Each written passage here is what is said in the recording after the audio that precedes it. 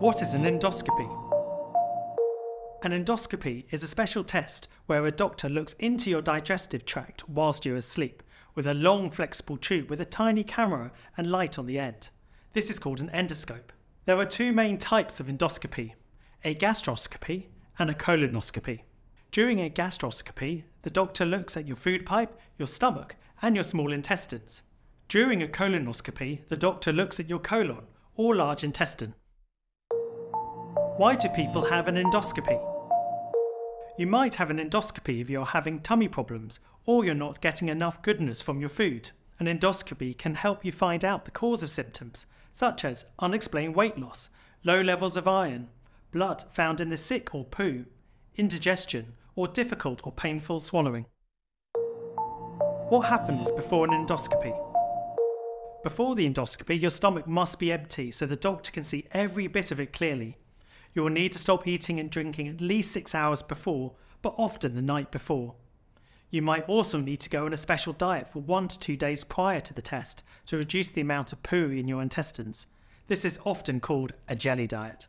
A doctor or nurse will meet with you and your family to explain what will happen and answer any questions you might have. A nurse will put a thin plastic tube called a cannula into your vein so the doctor can give you medicine easily during the test. If you're worried about the endoscopy, about one hour before the test you will be given some medicine to swallow that will help you feel really sleepy.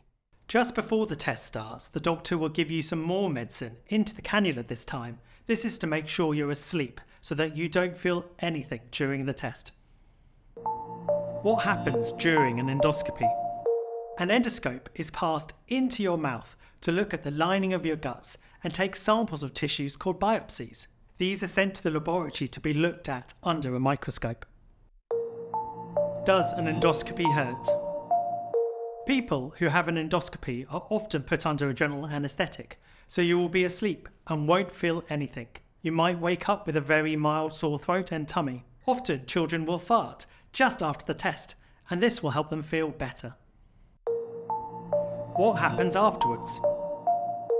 After your endoscopy, you will be able to go home once you've eaten and drunk and done a pee. Following your endoscopy, the doctor will send a report to your GP explaining the results and what you need to do next.